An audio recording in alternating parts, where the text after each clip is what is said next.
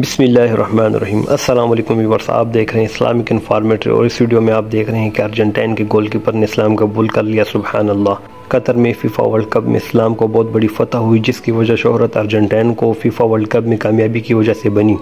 जिस तरह दुनिया के हर कोने से लोग कतर आ रहे थे और कतर की हुकूमत और इस्लाम के चाहने वालों ने जिस तरह वहाँ तबलीग की और बेहतरीन अखलाक का मुजाहरा किया, जिसका नतीजा आपके सामने है। रसूल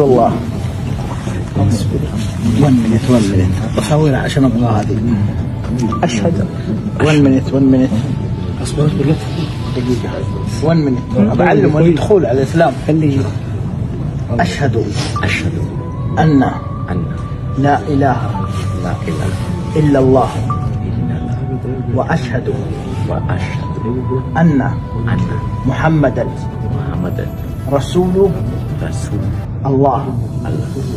अल्लाह तो दोस्तों आपने ये वीडियो को देखा और अर्जेंटाइन के गोलकीपर ने इस्लाम कबूल किया माशा दोस्तों वीडियो पसंद आई हो तो लाइक और शेयर ज़रूर कर दें।